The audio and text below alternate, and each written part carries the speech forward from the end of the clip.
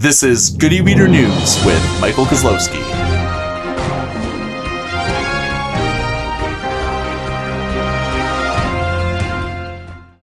Big news. The future of e-readers is here now. Freescale has just announced IMX7. There's two processors, a single core 800 megahertz processor and a dual core 1 gigahertz processor. Now it's the it's the dual core processor that's going to be powering e-readers for the next 5 years. So you can expect new models from Kobo, Amazon, Barnes Noble and a slew of European companies. Here are the big things that have going for it.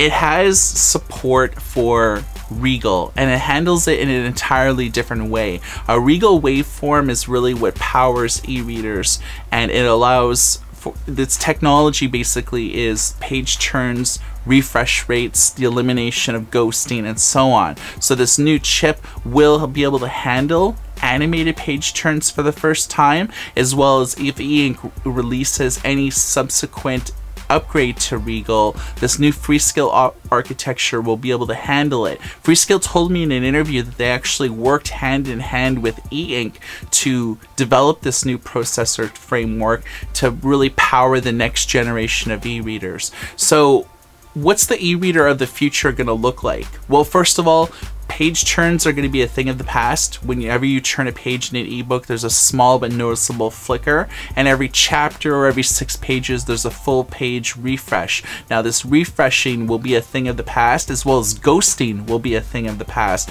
When you turn so many pages and text starts to superimpose itself on each other, that will be gone. What I'm excited about is animated page turns. You know that if you have a tablet or smartphone, and if you use an e-reading app, sometimes you can peek what's on the next page. There's cool animations when you're turning a page, but unfortunately a lot of the current generation Android e-readers, they can't really handle animations that well, but that's all going to change once more devices start using IMX7. You'll be able to peek, you'll be able to use the uh, apps that were developed for smartphones and tablets on your dedicated e-reader device. Now this is only really applicable to, uh, European, Russia, and Chinese companies that are pumping these devices out to companies like Pocketbook Book, Icarus, Onyx, etc.